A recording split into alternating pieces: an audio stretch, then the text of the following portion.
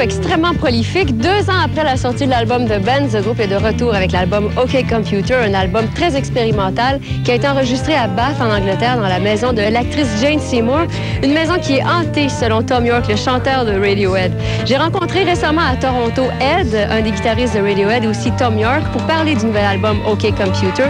J'ai aussi assisté à leur spectacle à Toronto.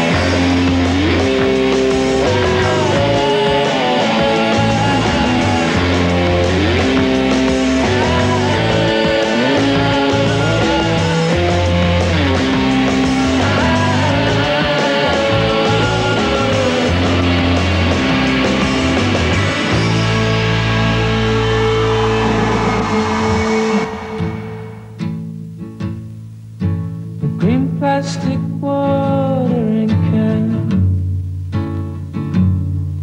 for a fake Chinese rubber plant and a fake plastic gun. Brian May, Curly Guitar Lead. Now this is cool. They're only five dollars. Oh. They're so great.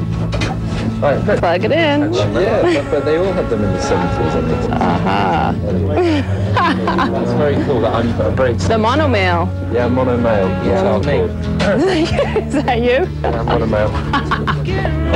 ah, all right. Pudding male. Yeah. Earth. Earth female. Yeah, I'm male. And I'm a two-way split as well. Are you? Oh, okay. And what are you? I'm a, I'm obviously a three-way split.